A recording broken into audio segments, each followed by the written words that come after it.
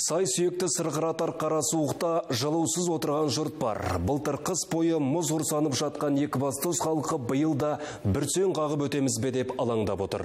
Өйткені осыдан 10 шақты күн бұрын ондағы жылу станцияларының бірінде апат болып, тұрғындар жылудан қағылған еді. Мамандар аз уақытта барлығын қалпына келтірдік деп сендірген, бірақ жылдар бойы ешбір жөндеу көрмеген әлгі құбырлардың бірақ сәтте істен шықпасына ешкім кепілдік бермейді. Рейдерде тұратындар да жандары жүбірікке түйіп отыр. Қыз келсе үйінде қымтанып отыруға мәжбүр болған олардың мұң мұқтажы билікке әлі де жетпей жатқан сында. Жылда көретініміз осы деп зарилеген бұқара бұл сұмдық қашанғы бұлай жалғасады деп ашуға булыққан. Теміртау мен Степногорскте тұратындар да жылудан қағылдық деп дабыл қаққанда. Одан кейін Балқаш жақтан дәл осындай хабар жетті. Тап сол сәтте көкшетаулықтар да алақандарын ысқылап қабат-қабат киім киіп оранып отырған.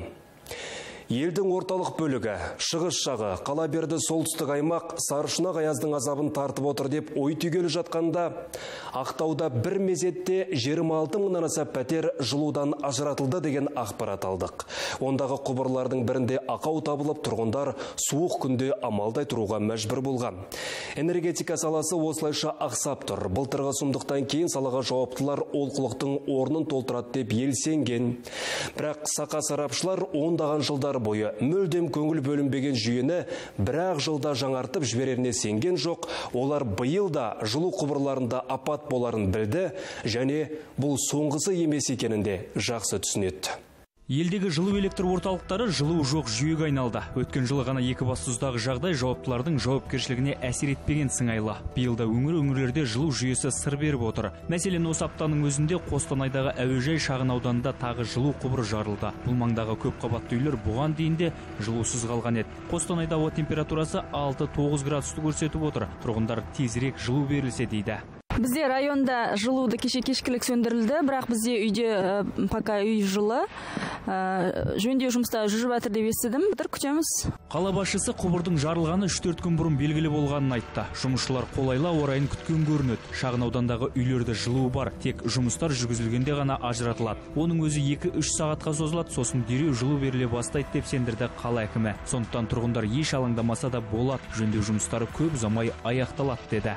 Сегодня ни одного дома без отопления нет в городе Костаная. Жылусыз қалған үй жоқ. Құбырдың жарылған жері анықталған соң жөндеу жұмыстары 2 сағатқа созылуы мүмкін. Осы уақытта жылу болмайды, сосын дереу жылу беріледі. Тұрғындар мұны сезбей де қалуы тиіс. Біз әдейі осындай ауа райын күткен павлодарда да көп қабатты үй тұрғындары жылуға жарымай отыр. Сақылдаған сарыаязда пәтерлер тіптен суып кеткен. Жылудан қағылғандардың қатарында маржан байтемірова да бар. Ол қатты аяздан үй іші азынап кеткенін айтады. Суықтан немересін балабақшаға апаруға мәжбүр болыпты. Өйткені үйден гөрі балабақша әлдеқайда жылы көрінеді. 16 градус қана бізде температура осы үйде міне мына комнатаны вообще біз жауып тастадық ол жақта вообще сып суық баладар киін киіммен жатады. Өзіміз міне киінгенімізді осылай жүреміз. Басқа пәтерлерде солай осылай суық. Тұрғын үй инспекциясына 160-тан астам шағым түскен. Құзырлы орган өкілдері пәтерлерге тексеру жүргізді. Нәтижесінде 5 көп қабатты үйде жылу мөлшерінің тым төмен болғанын анықтаған. По ним тепловыми сетями. Бұл үйлер бойынша жылу орталығы тарапынан тиісті шаралар қабылданатын болады. Кейбір үйлерде жылу жүйесі дұрыс емес.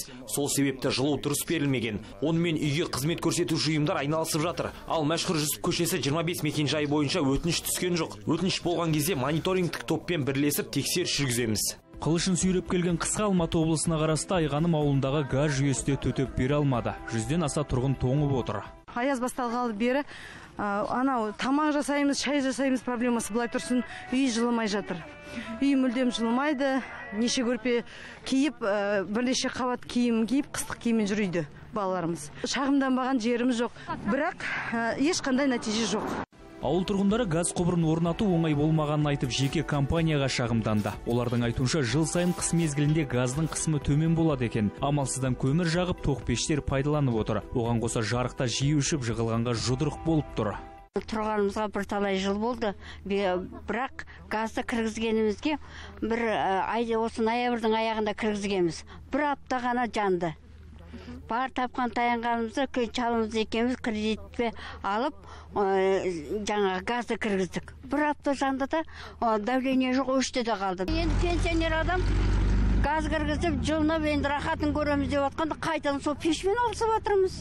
Газға жекеменшік компания мәселені назарға алып бір аптада қосымша жылу тарату шкафтарын орнататынын жеткізді. Бұған дейін қаржы қарастырылмапты. Бүкіл шгрпларымыз норма емес нормадан жоғары тұр қазір. Барлық үйлерге шеткі үйлерге жетпей жатыр. Шеткі автомобилисті дача ретінде біз кезінде қоспаймыз дегенбіз. Ауыл адамдары шулап тура жанымызда өтіп тұрған газды біз неге ала алмаймыз деп ол жерге қостық. Енді ол жерге не бару керек? Шегіріп апаруымыз керек бір жетіде сол кезде ғана шешіледі бұл әңгіме. Бұған дейін финансирование болған жоқ жаңа ғана финансирование болды ауылдық округ әкімінің сөзіне сенсек газ құбырларындағы ақауға елді мекенде құрылыс пен үйлер көбейгені әсер еткен. Әкімдік тарапынан тек рұқсат қағазына қол қою жұмыстары ғана жүргізілетінін жеткізді. Қазір шырпылардың бәрін тексеріп шықты давлениелер енді максимально көтеріп қойдық. Техниктердің бәрін шақырылды. Қазір тағы да максимально көріп шығамыз қалай болатынын.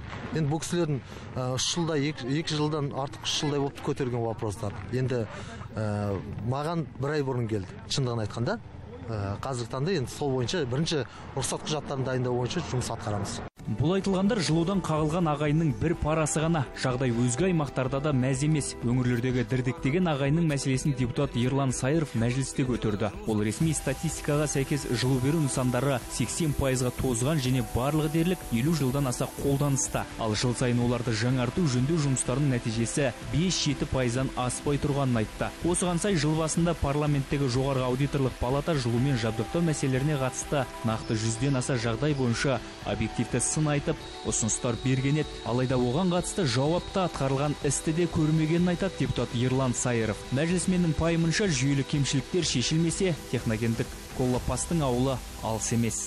Өткен жылы жылу саласындағы инфрақұрылымның тозуын азайту мақсатында 160 миллиард қаржы бөлінсе де шықырлаған аязға төтеп бере алар емеспіз.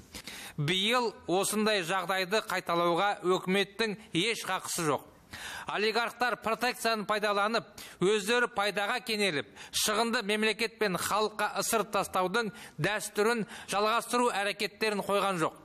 Осыған балта шабу керек. Ал үкімет энергетика саласындағы мәселелерді жүйелі түрде шешуді көздеп отыр. Қазіргі таңда саланы дамытудың 2023-2029 жылдарға арналған тұжырымдамасы әзірленіпті. Тұжырымдама аясында энергетиканы дамыту жобаларына қатысатын кәсіпорындарға 7 пайыз мөлшерлемемен 20 жылдан аспайтын мерзімге жеңілдетілген несие беру көзделген. Бұл жылу орталықтарын жаңғыртуға жақсы мүмкіндік туғызады. Сонымен қатар 2024 жылы жылу энергетикасы туралы заң қабылданады. Ол ұзақ мерзімді жоспарларды жүзеге асыруға және орталық пен жергілікті атқарушы органдар мен нарыққа қатысушыларды өзара жүйелеуге жол ашпақ. Қазақстан электр энергетикасы қауымдастығының мақсаты да сол. Тариф саясатын секторға жеңілдетілетін несиелеуді енгізу және саланы реттейтін бірыңғай мемлекеттік жүйені анықтап алу. Осылайша үкімет жағдайды жақсартамыз деп отыр. Әзірге бұл жоспар ғана. Ал жылудан қағылған ағайынның бар амалы әліптің артын бағу ғана болып тұр.